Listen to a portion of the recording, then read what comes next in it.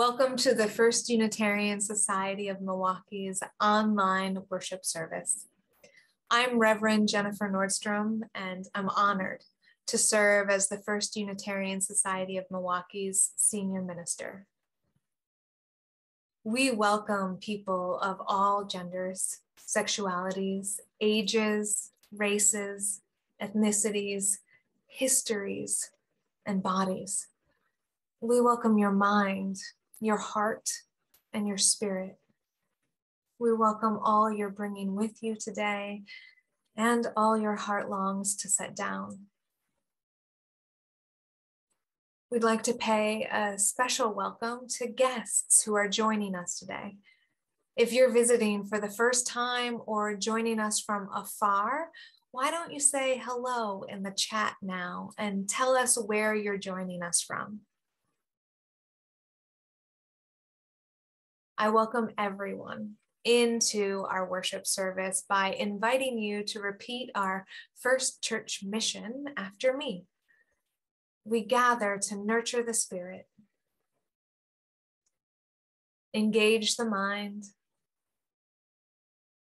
and inspire action. Let's go now to our beloved sanctuary to light the chalice which is the symbol of Unitarian Universalism.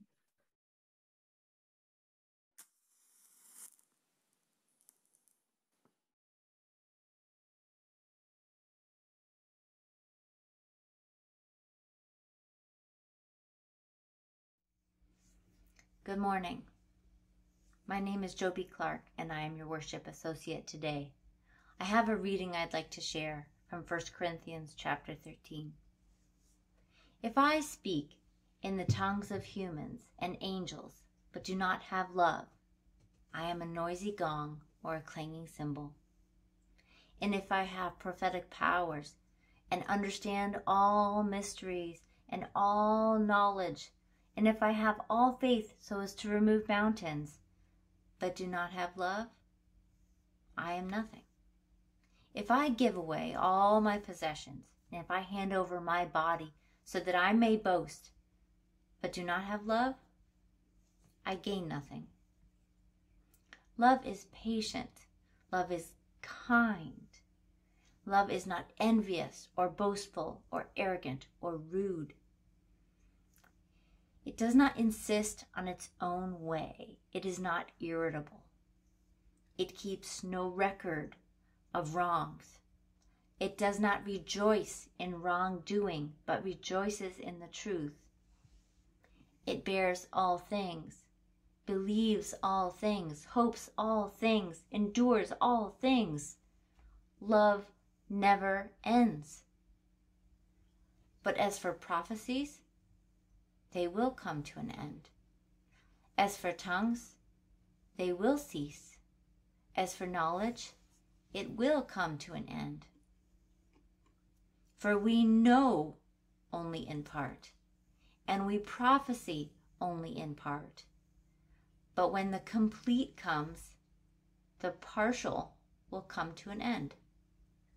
When I was a child, I spoke like a child. I thought like a child. I reasoned like a child. When I became an adult, I put an end to childish ways. For now we see only a reflection, as in a mirror, but then we will see face to face. Now I know only in part. Then I will know fully, even as I have been fully known. And now, faith, hope, and love remain. These three and the greatest of these is love.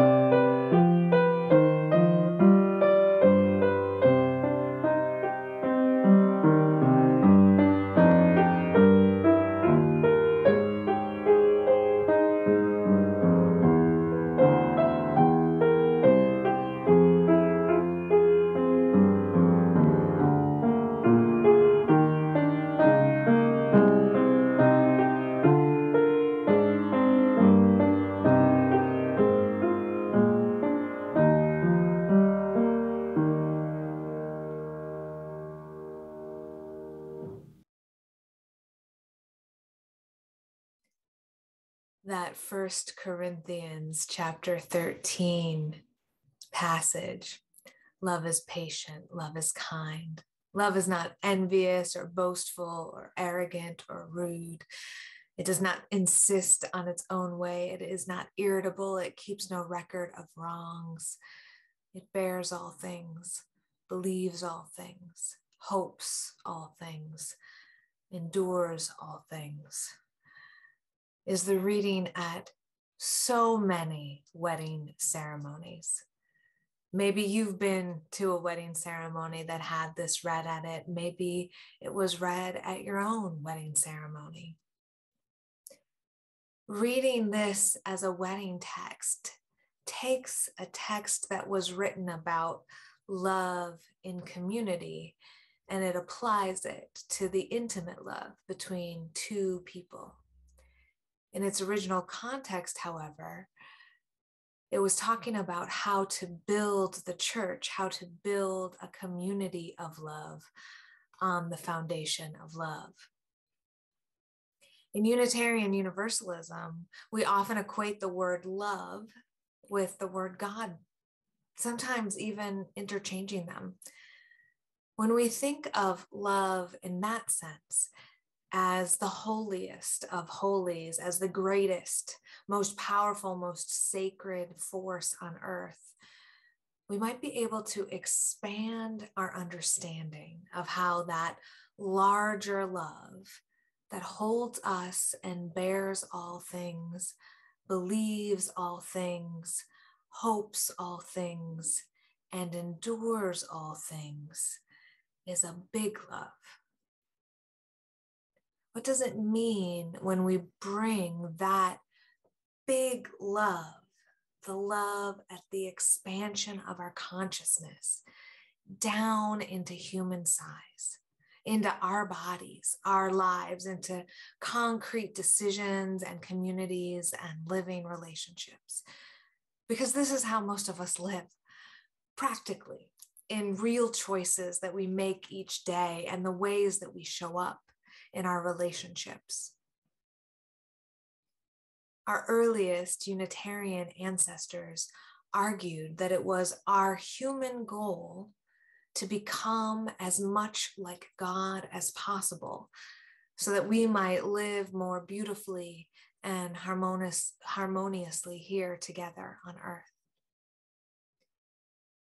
What would it mean to become more and more like love every day? Can you imagine yourself turning into love turning into love itself, slowly, gently morphing into love. When I imagine that, I see my own particles sort of floating up and glittering into light, gently twinkling and blinking equanimity and joy. When I imagine that, I feel more rested more content, more connected. I feel more capable of showing up in love in relationships that are human and complicated and messy. I feel I feel more capable of showing up in those relationships with compassion and care. And I want to return to that last line of the Corinthians reading. Love bears all things, believes all things, hopes all things, endures all things. Many times I have heard this line be interpreted as self erasure, as one person in a relationship or a community bearing, believing, and hoping and enduring all things. In the book Proverbs of Ashes by Rebecca Ann Parker and Rita Nakashima Brock, Reverend Dr. Parker tells the story of a time early on in her ministry when a woman visited her at the Methodist congregation she was serving to ask for help understanding what love would do in this woman's situation. The woman who came in asking for advice had just walked in off the street because she saw the name Reverend Rebecca Parker on the signboard out front on the church. And she came in asking what a woman priest thought of her situation. She sat down with Reverend Parker and told her the story of her marriage. For more than 20 years now, the woman's husband had physically abused her. Early on in their marriage, the woman had gone to her own priest at her own church and told him what was happening in her marriage and asked him what she should do. And he told her some version of love endures all things. He encouraged her to use her abusive marriage as an opportunity to become more Christ like and to continue loving her husband and bearing the abuse in order to become more Christ like. When Reverend Dr. Parker heard this story, she had to pause in a moment when she felt the wind rush out of the room. And not only because what the woman's priest had told her was so shockingly wrong, she was also shocked because the week before, she herself had preached a sermon that had a similar theological message with different examples, of course, ones that feel more intuitively right. But the theological message was along the lines of love endures and bears all things.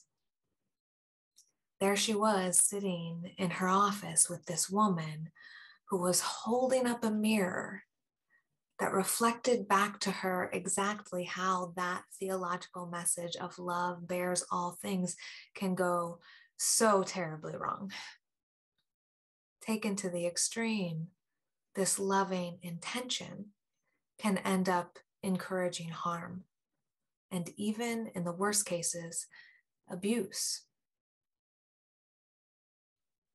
In that moment, the Reverend Dr. Parker realized that she needed to shift her theology and challenge the theology of love bears all things and endures all things, and look at how love can be loving with boundaries. Now, as Unitarian Universalists, some of this kind of theology lives in our congregations too. Sometimes it's in the vestiges of our denomination's Christian history, or in the ways that our members and ministers as well carry their own religious pasts into the community. Sometimes it shows up as a twist on our Unitarian Universalist first principle, the inherent worth and dignity of all human beings. Congregations can justified accepting all kinds of behavior because of the inherent worth of the person that's exhibiting that behavior. But love and inherent worth don't mean that we, either as individuals or as congregations, need to be on the receiving end of harm, of difficult or harmful behavior, and certainly not of abuse we don't even really need to be on the receiving end of rudeness because love and inherent worth and dignity are a two way street. In reality, that street goes more than two ways. Love and inherent worth move in all directions, they encompass all people and beings. You are beloved and inherently worthy. Everyone is inside the infinite circle of belovedness and inherent worth. Going back to the Corinthians passage, one translation of the original Greek text says, love protects all things, while another translates the same text as love bears all things.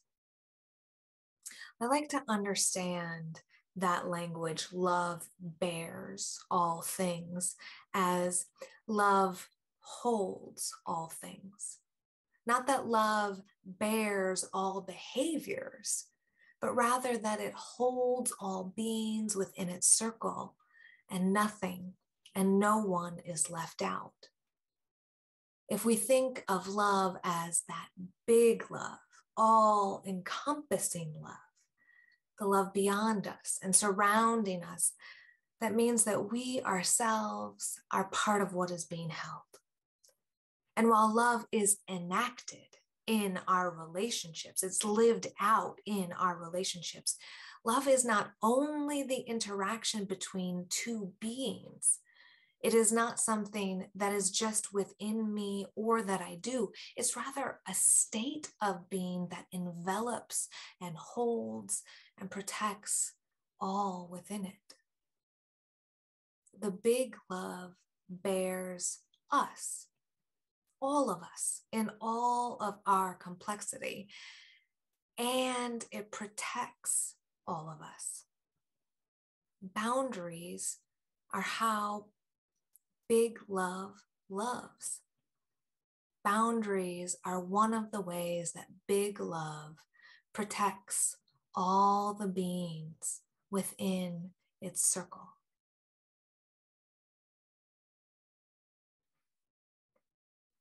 A few times now in this sermon, I've said, You, you are part of the all that's being held. And as you've been listening to the sermon, you might have located yourself within it somehow. Have you imagined yourself in a love with boundaries situation? And if you have, are you the person who needs to set some boundaries to protect yourself from behavior that's causing you harm? Or maybe you're watching a loved one who needs to set some boundaries most of us are going to connect more quickly with those two situations. Either being on the receiving end of some behavior that's causing us harm or witnessing it in one of our loved ones' lives. But there have been times that every single one of us, including me, has also been the person that's been enacting harmful behavior. All of us have hurt someone that we love. I'm going to tell you a story on myself. so, to begin with, let me just tell you that I'm not good at cooking. I'm not I'm not good. Anyone can tell you that. I'm capable of it, but it's nothing to rave about and I'm not one of those people who's like, "Ooh, I love cooking. It brings me such joy." No. It's definitely in my life a chore. In my worst moments, though, when I'm exhausted or down or overwhelmed, it's worse than not being good at cooking. In those times, I'm not good at feeding myself well. the whole process of planning food, getting it from the grocery store, preparing it, and then having it readily on hand for when my body is hungry, that is a weakness that can crumble when I am under resourced. When I first moved here to Milwaukee and began serving First Unitarian as your senior minister, every single system in my life was new. Everything work, home, my personal life. And my resources were pretty low. On my worst days, I wouldn't pack a lunch or even remember to bring snacks to work. And then I would book back to back meetings without enough time to even run and get takeout to eat. On one bad day, with high stress and no food in sight, I phoned a friend and I asked for help. my friend came to my rescue in that crisis moment. A full meal was delivered to my door, and I was able to show up to my meetings on time and fed and resourced and feeling good. Now, that would be a happy story if we ended right there. But that one friend rescue was not enough to fix a systemic problem in my life. And my brain learned a short term lesson in that moment of rescue that if I really got stuck, I could call my friend and get bailed out. My brain, which was already running on empty thought, this is a much easier solution to this problem than fixing the entire system. And so I called on my friend multiple times over the next month or so. And one time I got angry with them when I was struggling and was depending on them to show up with food again. And they said no, they couldn't do it. After that, my friend needed to sit me down and set a boundary. They had to let me know that it wasn't okay for me to depend on them for this basic need. And it really wasn't okay for me to have expectations that they would meet it and get mad if they said no to a request for help.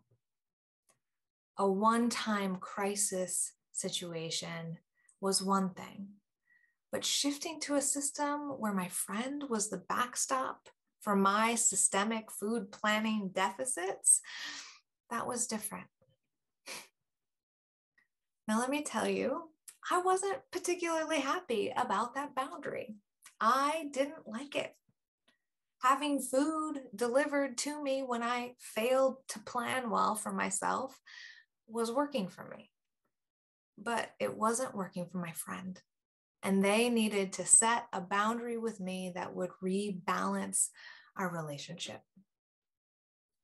in the renegotiation of needs and boundaries, I needed to figure out how to get my food needs met in a way that worked for me and worked in this relationship I had with my friend. Writer and embodiment practitioner Prentice Hemphill writes that boundaries are the distance at which I can love you and myself at the same time. Negotiating needs and boundaries is a normal part of loving relationships. Renegotiating them is a normal part of loving relationships. It's a feature, not a bug. Relationships are messy and all of us have needs that we try to meet through a variety of strategies. Sometimes those strategies work in our relationships, and sometimes they don't. As we negotiate needs and boundaries in the normal course of human relationships, we should ask ourselves is this a strategy that holds and protects all inside the circle of love. We are allowed to have boundaries, and so are our loved ones. In a community, we have to keep negotiating needs and boundaries. That's a normal part of learning how to be human in relationships with love. We have to keep negotiating and renegotiating with the people we love as we grow and as new conditions emerge. Sometimes you're the one who gives, sometimes you're the one who takes, and often it shifts. Our needs and boundaries are constantly changing in a changing world. When things get out of alignment, we need to stop and listen to one another and renegotiate boundaries that keep everyone's needs met keep the community going and flowing, and keep everyone held and protected in love. It's messy. It's complicated, and sometimes it includes disappointment or loss or frustration. That's all normal. The key is to keep remembering that everyone has inherent worth and value, and everyone is within the circle of love, the circle that is infinite and boundless beingness that holds and protects all. When we remember that, we can keep learning together what boundaries are needed to keep everyone protected and held and well and needs met within that circle. It's not easy, it's not static.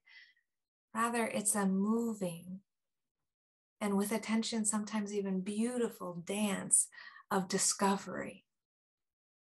We honor the circle of love and enact love through dancing with one another in our relationships. That reading from First Corinthians ends with love never ends. But as for prophecies, they will come to an end. As for tongues, they will cease. As for knowledge, it will come to an end. Now I only know in part. Then I will know fully, even as I have been fully known.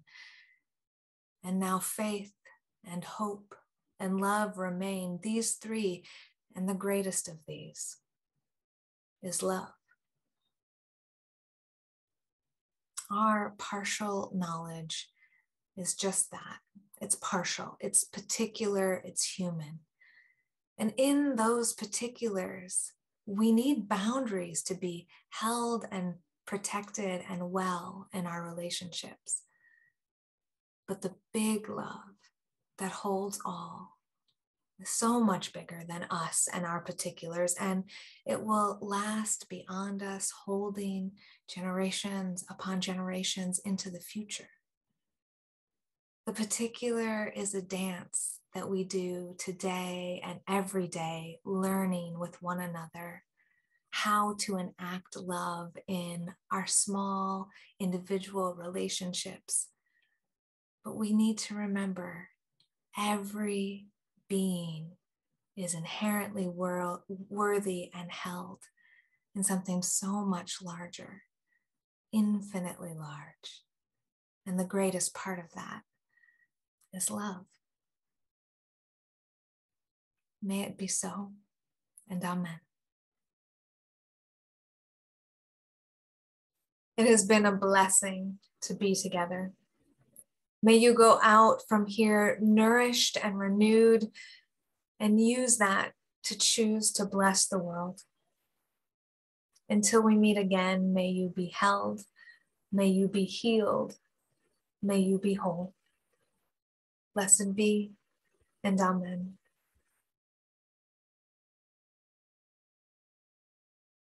We are going, Heaven knows where we are going. We know within. And we will get there. Heaven knows how we will get there. But we know we will. Whoa, yeah, yeah. Whoa, yeah, yeah. Whoa, yeah, yeah.